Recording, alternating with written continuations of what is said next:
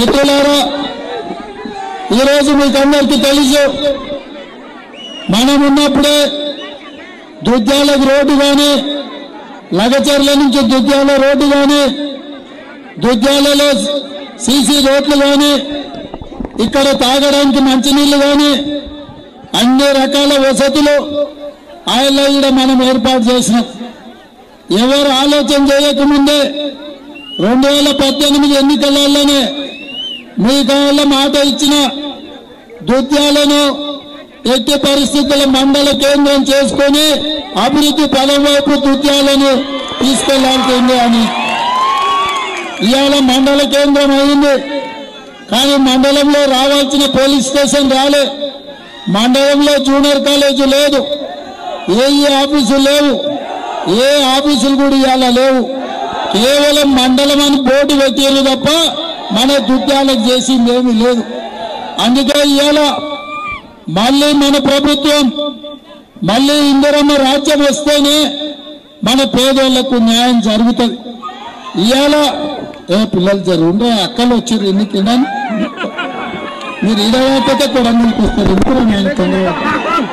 ఇవాళ మా అక్కలు మా పెద్దమ్మలు అందరూ వచ్చారు చుట్టుముట్ట గ్రామాల నుంచి వచ్చారు తండాల నుంచి వచ్చారు మా లంబాడి సోదరుమాళ్ళు ఇవాళ నేను మిమ్మల్ని అందరిని అడుగుతున్నా. ఆయనలో పెద్దలు గురునాథ్ రెడ్డి గారు నందారం వెంకటయ్య గారు నేను ఎమ్మెల్యేగా ఉన్నప్పుడే ఈ ప్రాంతం అభివృద్ధి చెంది చెందింది. పేదోళ్ళకి ఇందిరమ్మ ఇండ్లు వచ్చినాయి. దళితులకు గిరిజనులకు లంబాడి సోదరులకు ఇండ్ల పట్టాలు వచ్చినాయి భూముల పట్టాలు వచ్చినాయి. ఆయనలోనే మీ పిల్లలు చదువుకున్న వాళ్ళకు ప్రభుత్వ ఉద్యోగాలు ఇప్పించి మన జీవితాలలో మార్పు తీసుకొచ్చినాం. పదేళ్ళైంది అయింది కేసీఆర్ వచ్చి మీకందరికీ ఆయన ఇల్లు లేని వాళ్ళందరికీ డబుల్ బెడ్రూమ్ ఇల్లు ఇస్తా అన్నాడు. ఎవరికైనా డబుల్ బెడ్రూమ్ ఇల్లు వచ్చిందా? వచ్చిందా అక్క? డబుల్ బెడ్రూమ్ ఇల్లు వచ్చిందా? పోనీ మీ దళితులకు లంబాడీలకు మూడు ఎకరాల భూమి ఇచ్చిందా? మీ చదువుకున్న పిల్లలకి ఏమైనా నౌకరీ ఇచ్చిందా? మీ భూములకు ఏమైనా కాలువల ద్వారా నీళ్ళు తెచ్చిందా? పోనీ మనకి ఏమైనా బస్సు ఫ్రీగా ఎక్కిపోయితో ఏమైనా చేసిందా మన చదువుకునే పిల్లలకు ఏమైనా ఫీజులు కట్టిందా మరి మనకేం చేయలే? మన దుద్యాలకు జూనియర్ కాలేజ్ ఇయ్యలే. మన దుద్యాలలో ఏ ప్రభుత్వ కార్యాలయాలు రాలే. మళ్ళా మూడోసారి ఆయన ముఖ్యమంత్రిని చేయమని వచ్చింది నేను అడిగిన టీఆర్ఎస్ వాళ్ళను పదేళ్ళు చేస్తే ఏం చేసినావు? ఇప్పుడు మళ్ళా చేస్తే ఏం చేస్తామని ఏం లేదా? పదేళ్ళు అయితే నా అల్లుని కొడుకును బిడ్డను సడకుని కొడుకుని అంతా మంత్రులు ఎంపీలు ఎమ్మెల్యేలు చేసుకున్నా నా మనవడు ఒకటి మిగిలిండు. వాడు రోజు ఇంట్లో రోజు ఇంట్లో నేను వాళ్ళందరినీ చేసి మరి నన్ను ఎప్పుడు మంత్రి చేస్తామని అడుగుతుండు. ఈ మూడోసారి ముఖ్యమంత్రి అయితే మనవని కూడా మంత్రి చేస్తా అంటుండు. నేను అడుగుతున్నా వాళ్ళ పిల్లలందరూ మంత్రులు కానికే వాళ్ళ మనవడు మంత్రి కానికే మనం ఓట్లేసినావా? ఇవాళ మన బతుకులతోని చెలగాటం ఆడుతున్నాడు. కారు గుర్తు ఆయన. అందుకే ఇవాళ కారు గుర్తు ఆయన బొంద పెట్టాలి ఇందిరమ్మ రాజ్యం తెచ్చుకోవాలి. మా అక్కలు అనుకో అంటుండొచ్చు మరి ఇందిరమ్మ రాజ్యం అయితే మాకేందని? ఇవాళ అన్ని ధరలు పెరిగినాయి. మంచి నూనె ధర పెరగలే రెండు వందలు కాలే ప్యాకెట్. కందిపప్పు రెండు వందలు అయిందా? బెల్లము చింతపండు మజారు పోయి సంచి నిండా రూపాయలు తీసుకోకపోతే కొంగుల కూరగాయలు తెచ్చుకునే పరిస్థితి వచ్చింది. ఆయన మనం ఉన్నప్పుడు కొంగుల రూపాయలు కట్టుకోపోతే సంచి నిండా కూరగాయలు వచ్చే సంతకపోతే ఇవాళ అందుకే మీ ఖర్చులు పెరిగినాయి. ఇల్లు నడుపుడు కష్టమైంది. ఇంకైనానే ఉన్న సాయంత్రం తీసుకొని పోయి బెల్ట్ షాప్ వంతి తలగబెడుతుంది.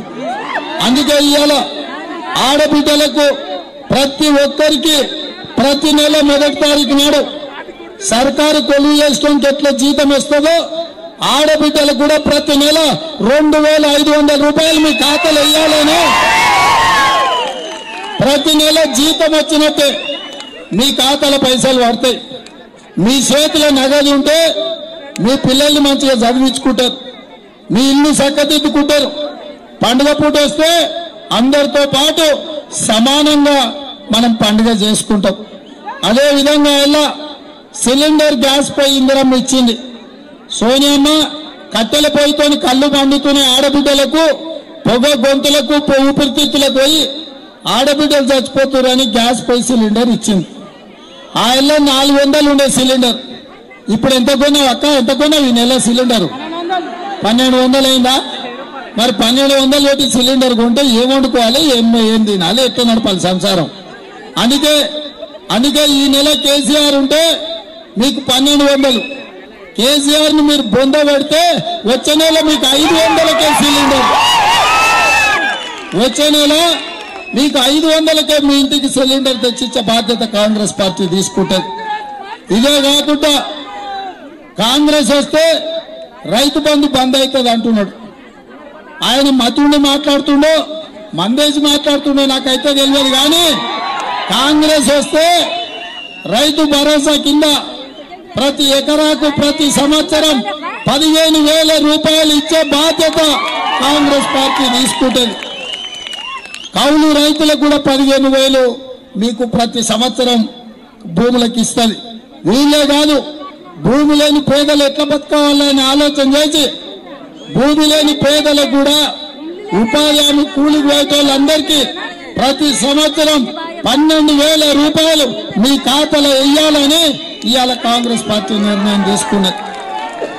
ఇదే కాకుండా భూమి ఉన్న ఉచిత కరెంటు కాదు బాయికాడ బిల్లు వసూలు చేస్తున్నారు బాయికాడనే ఉచితం అంటున్నారు ఇంటికాడ బిల్లు వసూలు చేస్తున్నాడు టీఆర్ఎస్ ఆయన. ఆ చేతిలో పెట్టి ఈ చేతిలోకి వెళ్ళి ఈ జేబులకు వెళ్ళి గుంజుకుంటుండు అందుకే మా అక్కలకు వచ్చే నెల నుంచి ఇంటి కరెంటు బిల్లు కట్టాల్సిన పని లేదు. మీ ఇంట్లో ఫ్యాన్ వేసుకోండి టీవీ పెట్టుకోండి లేకపోతే ట్యూబ్ లైట్ వేసుకోండి ఇంటికి కరెంటు బిల్లు కట్టాల్సిన పని లేదు. ఉచితంగా మీ ఇంటికి కరెంట్ ఇచ్చే బాధ్యత కాంగ్రెస్ తీసుకుంటుంది. మరి ఇండ్లు లేకపోయే పిల్లగాడు పెద్దోడా మీసాలు వచ్చే పెళ్ళా ఇక వాడెక్కడ ఉండాలో మీరు ఆలోచన చేయరు అందుకే ఇల్లు లేని పేదలకు పెళ్ళైన ప్రతి పిల్లగానికి ఇందిరమ్మ ఇల్లు కట్టుకోనికే ఐదు లక్షల రూపాయలు ఉచితంగా ఇచ్చి మీరు ఇల్లు కట్టుకునే బాధ్యత ఇవాళ కాంగ్రెస్ పార్టీ తీసుకున్నది ఇదే కాకుండా మా అత్తలు ఏడికి కొడంగల్ పోవాలన్నా తాండూరు పోవాలన్నా పరిగి పోవాలన్నా బస్ కిరాయిలు కట్టి కట్టి అలసిపోతున్నారు వచ్చే నెల నుంచి నువ్వు యాడికన్నావు పట్నం పోతావా? తాండూరు పోతావా? కొడంగల్ పోతావా? పరిగి పోతావా? వికారాబాద్ పోతావా? యాడికన్నావు మా ఆడబిడ్డలు ఇట్లా చేయి పెడితే బస్ ఆపాల్సిందే మిమ్మల్ని ఎక్కించుకొని పోయి ఒక్క పైసా లేకుండా ఒక్క పైసా లేకుండా మీకు బస్సులలో ఉచిత ప్రయాణం ఇవాళ కాంగ్రెస్ పార్టీ ఇచ్చింది. ఇదే కాకుండా షాది ముబారక్ కళ్యాణ లక్ష్మి ఇప్పుడు ఎంత వస్తుంది? లక్ష వస్తుంది అంతేనా? పెళ్ళి లగ్గం పెట్టుకున్న నాడు కాగితం పెడితే పిల్ల పిల్లగాడు నాకు ఇస్తారు. లగ్గానికి రావాల్సినవి మనకు పిల్లలు బర్త్డేకు వనుకొచ్చే పరిస్థితి వచ్చింది. అందుకే ఇవాళ కాంగ్రెస్ పార్టీ లగ్గం పెట్టుకున్న వెంబడే లక్షతో పాటు ఆడబిడ్డకు తులం బంగారం ఇవ్వాలని ప్రతి ఆడబిడ్డ మెడలో బంగారం తాలి పుస్తకాలు ఉండాలని పెళ్ళి చేసుకుంటున్న ప్రతి ఆడబిడ్డకు తులం బంగారం లక్ష రూపాయలు ఇవ్వాలని ఇవాళ కాంగ్రెస్ పార్టీ నిర్ణయం తీసుకుంది. అదే విధంగా ఎంత వస్తుందమ్మా ఇప్పుడు? ఇంతే కదా పింఛను పింఛను. ఇంతేనా? ఇంతే కదా? ఇంత అంటే ఎంత? ఎంత? గట్టిగా చెప్పరా నాయన? అంతే కదా? కానీ కేసీఆర్ను బొంద పెడితే గింత వస్తుంది. ఇంత ఇంత అంటే ఎంత? ఎంత? గట్టిగా చెప్పురా నాయన? ఇప్పటి దగ్గర తినాలి గట్టిగా చెప్పి కేసీఆర్ తినిపించాలి ఎంత? ఎంత? కేసీఆర్ను బొంద పెడితే వచ్చే నెల ఇందిరమ్మ నాలుగు వేలు పింఛన్ ఇస్తుంది మరి మీకు. మరి మీ ఖాతాల కోడలి పిల్లకు ఖాతాల రెండు వేల ఐదు వందలు ఇవ్వాలన్నా అత్తకు నాలుగు వేలు పింఛను ఇవ్వాలన్నా ఐదు వందల రూపాయలకు సిలిండర్ ఇవ్వాలన్నా ఇంటి కరెంటు బిల్లు లేకుండా చెయ్యాలన్నా ఇందిరమ్మ ఇల్లు కట్టుకోనికే ఐదు లక్షల రూపాయలు ఉచితంగా ఇవ్వాలన్నా రైతులకు రెండు లక్షల రూపాయల రుణమాఫీ చెయ్యాలన్నా రైతు భరోసా పథకం కింద ప్రతి ఎకరాకు పదిహేను వేల రూపాయలు. ఇవ్వాలన్నా ఇన్ని మంచి పనులు చేయాలంటే ఇందిరమ్మ రాజ్యం రావాలి. ఇందిరమ్మ రాజ్యం రావాలంటే Congress party Congress party Congress party.